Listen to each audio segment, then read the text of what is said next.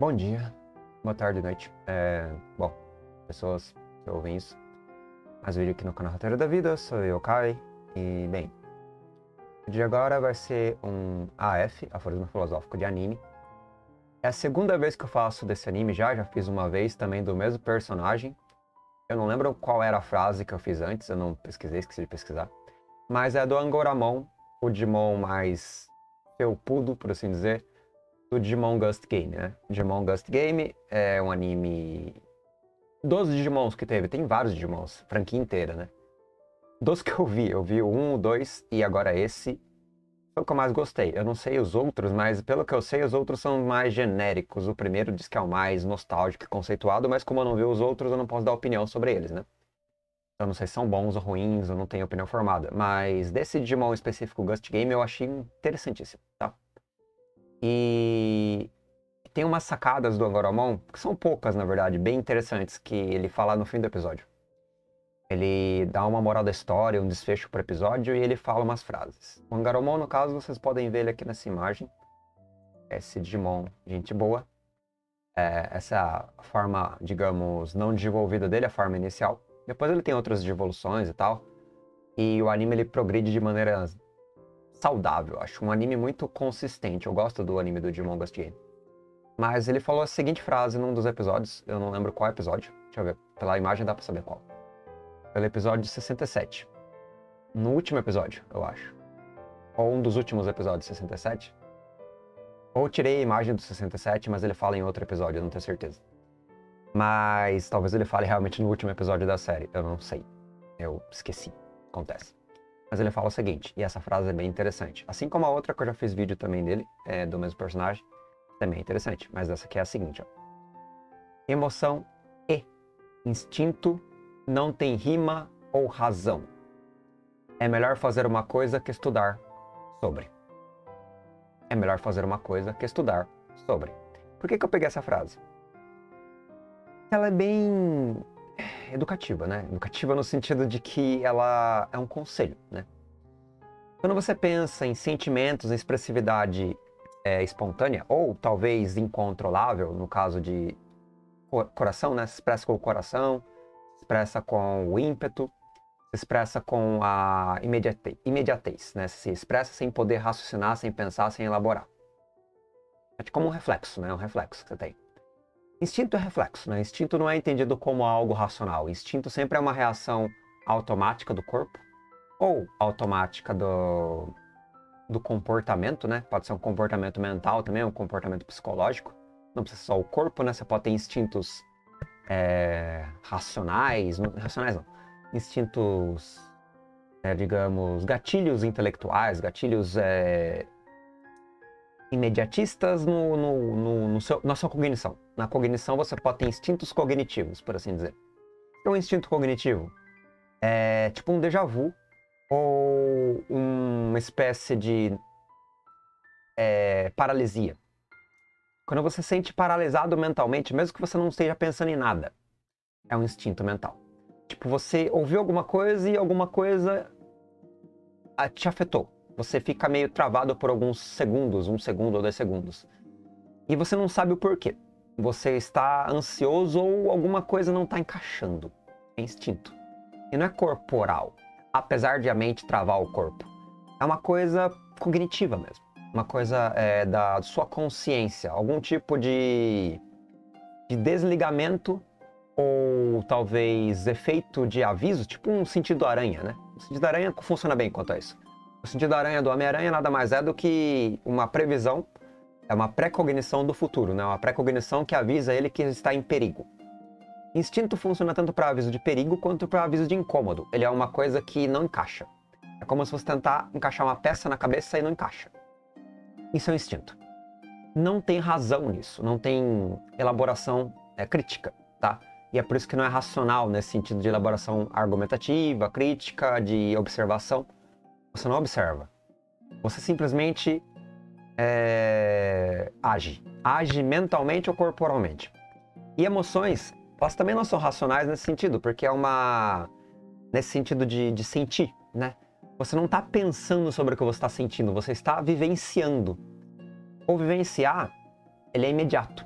Você vivencia a tristeza, você vivencia. A, você pode ficar em choque, você pode vivenciar uma felicidade, uma emoção de surpresa, né? Uma coisa, tipo uma euforia, uma euforia instantânea. E você não tem tempo de pensar sobre o assunto. Você vê alguém, por exemplo, que você não via há muito tempo de surpresa, tipo um amigo ou uma pessoa querida, e pá, bateu na tua cara. E você não tem tempo para pensar.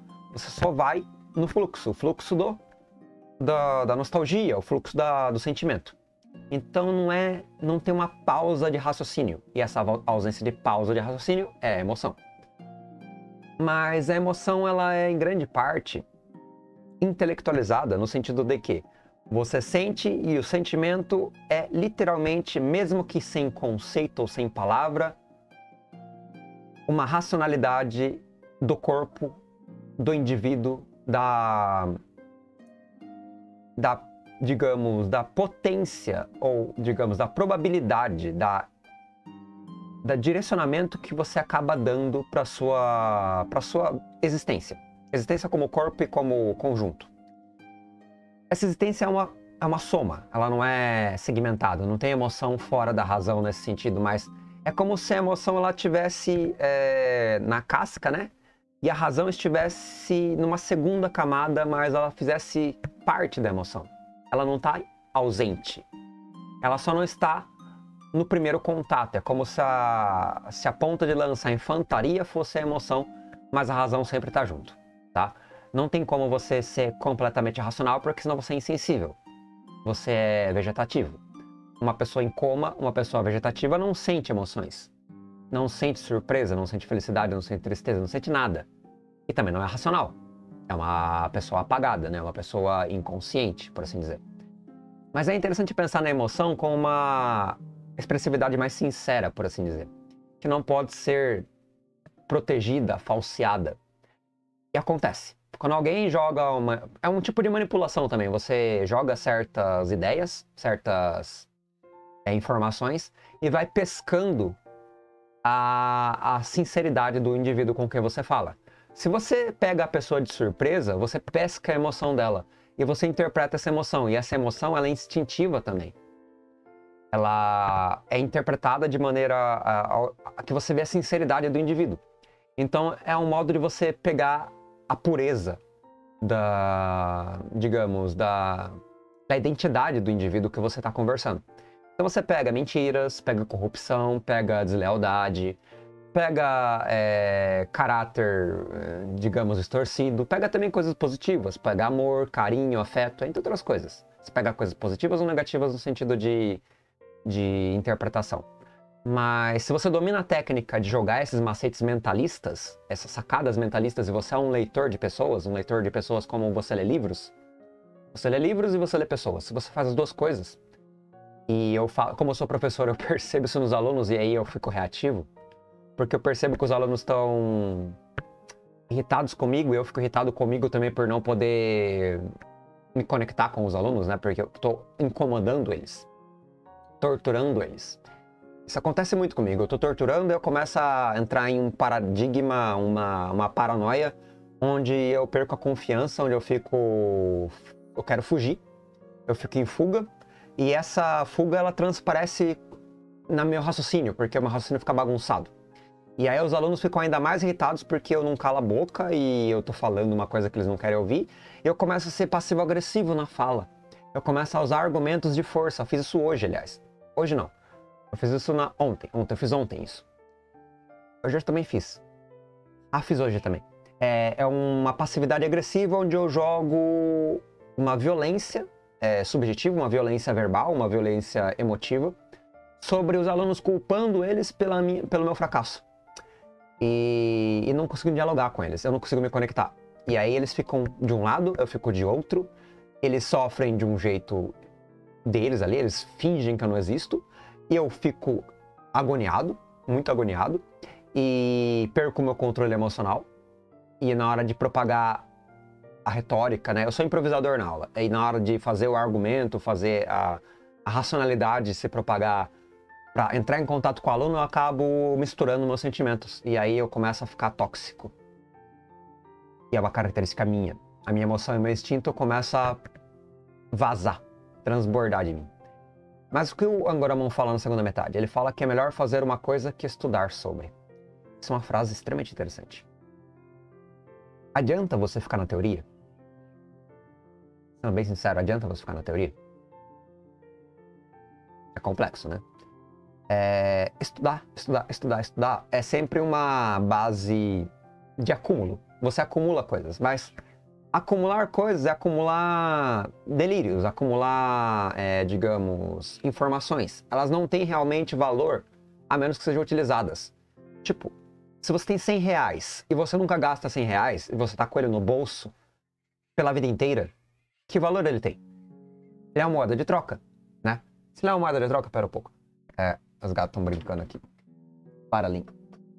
Para ali. Ah, não é punhar, não. Aí, salve. Vem cá. Essa aqui é a nova gata, a Yui. A Yui, ela é amiguinha da Lin, só que elas gostam de brincar de maneira mais agressiva. É, né, Yui? Ela é menorzinha e a Lin abusa um pouco dela, mas é, não sei, é complexo. Mas voltando. Então, quando você tem uma nota de 100 reais no bolso, que não é usada, ela não vale porcaria nenhuma. Quando você tem o estudo, que é a descoberta das informações, e você não consegue propagar esse estudo para uma coisa de fato, uma coisa material, uma consequência no mundo, para que serve o estudo? Já pensaram sobre isso? Adianta você ser médico e não praticar medicina? Quem você vai estar salvando? Tudo bem, você pode ser um pesquisador, mas a pesquisa, o avanço da pesquisa, o artigo que você faz, as teses que você faz, e a própria ação ao pesquisar e investigar, criar metodologias e tal, é uma ação de experiência. É uma ação ativa que transforma e propaga é, consequências. Tá? Então o pesquisador ele não é passivo. O acadêmico não é passivo. Pelo menos em medicina. E o acadêmico de humanas, como história, geografia e filosofia e sociologia? Para que serve o conhecimento que ele produz na, na faculdade, na, na, nos muros da universidade? Isso é uma crítica, autocrítica da, das áreas de humanas no Brasil e no mundo como um todo, porque a bolha de humanas, ela dialoga apenas consigo mesma. Não tem diversidade, não tem transformação. É professor com, tu, com, com é orientando, orientando com professor e texto de tese de mestrado ou doutorado para a biblioteca não tem acesso na sociedade. E aí fica gerando em falso uma bolha de teses. Ah, vou estudar Kant, vou estudar Hegel. Ok. E, ok, o que aconteceu no mundo? Você aprende Hegel, aprende Kant. E, e daí? É, o produto da pesquisa fica paralisado. O indivíduo que pesquisou, não. O indivíduo está agindo no mundo. O indivíduo pode abranger uma ética kantiana, uma ética hegeliana, uma ética de Nietzsche? Pode. O indivíduo pode exercer a sua é, ética moral, os seus valores, o seu, o seu intelecto é, no mundo? Pode e vai exercer. E ele é influenciado pelos livros? Sim, ele é. Mas você percebe que ele, ele não ele está triangulando, ele está ele tá sendo o agente que transforma o mundo, mas a tese dele se torna uma tese de estante, uma tese de biblioteca. Uma pesquisa que não vai para lugar nenhum e que ninguém lê tirando os professores, ou talvez um ou outro acadêmico do outra parte do mundo que por acaso consiga acessar essa tese, se ela tiver de fato alguma coisa importante e interessante para ser lida, né? Porque a gente fica girando em falso. Digamos que 10 orientandos fazem é, uma tese de mestrado ou doutorado sobre Kant.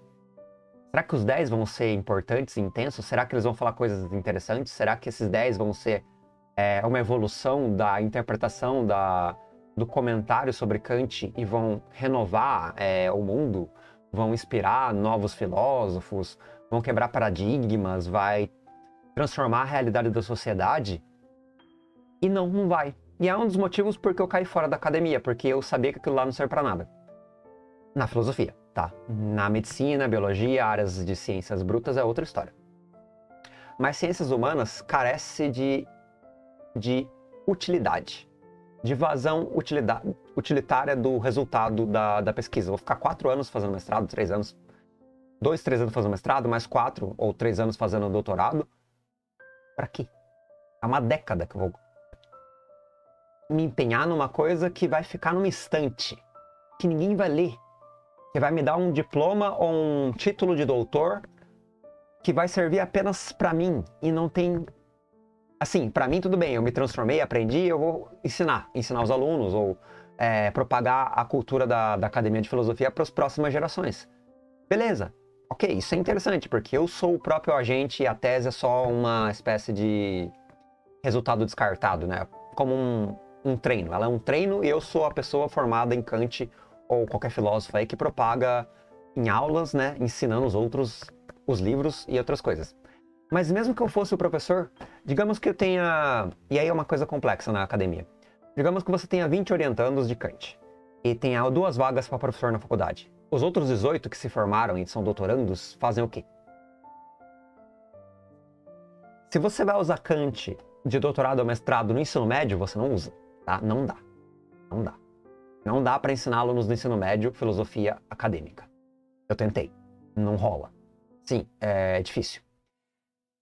Então você tem todo ali uma, uma amplitude grande, você é grandioso, você é inflado, você é uma pessoa que aprendeu um monte de coisa, que desenvolveu bastante interpretação e blá blá blá. Mas para onde vai? Se você não tem. Ou você está dentro da bolha que é, são os acadêmicos, ou você está em lugar nenhum. E tudo que você aprendeu é inútil. Inútil no sentido de transformação social, para além da sua própria é, responsabilização e ética. Para de bater. É e como você usa isso como consequência particular e privada, tá? E é por isso que eu não ligo para livros famosos, é por isso que eu não ligo para músicas, para bandas, para cultura de alto nível ou, ou cultura elitista. Eu não, não, não vou olhar para essas coisas, porque é, é redundante, tá? É, o que eu vejo, eu, que nem anime, é que eu tô usando Digimon, Digimon Ghost Game. É um anime para criança, para fazer uma reflexão sobre o assunto, tá? É isso que eu faço. E eu não tenho um ego, ah, isso é bom, isso é renovador, isso é, sei lá, vanguarda, uma coisa porcaria assim de, de, de ego, de, de, de, especial. Não é especial, cara. Eu só tô dialogando comigo mesmo para três ouvintes na, no YouTube, porque são a média de, de pessoas que talvez vejam esse vídeo do começo ao fim é três, no máximo, em dois, três anos. Um por ano, em dois, três anos, três pessoas podem ver esse vídeo até o fim e chegar até aqui nos 17 minutos e meio. Dá um oi quem chegou nos 17 minutos e meio. para saber que esse vídeo foi ouvido. Eu tô falando pra mim mesmo. Tá? É, isso é uma terapia também, certo sentido. Mas você entende que, pelo menos na área de humanas, né? Na área que eu, da onde eu vim, né? Complexo, tá? É, tenho várias críticas com a área, sobre a área, em relação à área. Mas a frase do Angoramon é exatamente isso. Você tem que fazer uma coisa, é melhor fazer alguma coisa do que apenas estudar. Ou se você estudar, você tem que co colocar o estudo em, em, em, efetivação. Ele tem que se efetivar hum, em materialidade, ele tem que ter. Ele tem que ter transformação, ele tem que transformar alguma coisa, ele não pode ser apenas é, inerte, sabe? Ele não pode ser. Ele não pode ser neutro. Que nem o neutrino, não interagir, ele tem que estar no mundo. E é por isso que eu não faço academia também, né? academia no sentido de ser acadêmico, né? É porque eu não vejo motivo. Não vejo significado, sentido, na filosofia pelo menos. E eu acho, concordo com o Agoramon, que estudar não vai engrandecer você muito, vai te tornar um balão, um balão que flutua no espaço. E só isso, uma bolha, né? É, tudo bem, você pode ter os colegas, você pode ter ali um ego, talvez você vire professor, dentre os 18 que não viraram, você é um dos dois que viraram professor e propagou a cultura para os acadêmicos e blá blá blá. Talvez você faça uma coisa realmente importante, inovadora e seja reconhecido. Talvez você vire um filósofo popular na, no mundo comum, na sociedade, por assim dizer, que nem esses aí que são mais populares às vezes acontece. Mas é minoria. Para de. Obrigado. É um dentre milhares dentre centenas de milhares, dezenas de milhares. Esse é o ponto, tá? Esse é o ponto que eu quero chegar. É, é quase fútil. Não é fútil por 100% porque não tem sentido ser fútil 100% já que você é parte integrante do contexto. Mas é desanimador, tá? É desanimador. Então emoção e instinto não tem rima ou razão. Por que não tem rima? Porque não é planejado. Rimas é controle. Emoção, instinto não é controlado, é espontâneo. E o melhor é melhor fazer uma coisa estudar sobre. Não que você vai fazer sem ter estudado, porque senão você vai cair em um paradigma complexo também, que é se jogar no fogo para descobrir se o fogo queima. Isso é um pouco complicado. Você não pode se jogar no fogo para descobrir que o fogo queima, porque se você fizer isso, você pode se lascar e morrer. Ou se machucar, ou causar uma catástrofe. Então, sim, você tem que fazer coisas, mas toma cuidado. Você não pode fazer tudo assim. Ah, eu quero ver se, se, eu, se eu pular na rua, o carro me atropelar, eu morro ou não. Não é assim que funciona, tá? É, e a probabilidade de você morrer é alta.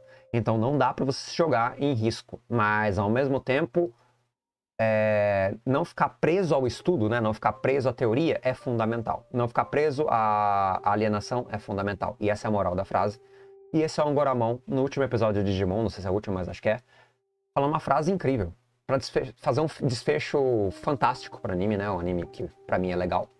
É, é um bom desfecho, é uma boa frase. E eu achei que foi uma boa conversa, pelo menos em relação à parede e eu. Né? A gente conversou bem, a parede gostou, eu também gostei, então o eco foi legal. Bacana, né? É isso que tem para hoje. Mas é, obrigado pela presença. Até um próximo vídeo aí de AF de Star Wars ou de anime ou de alguma outra coisa. E mouse aí qualquer coisa também, né? Perdão se eu falei bosta, às vezes eu falo. E falou aí. E até mais.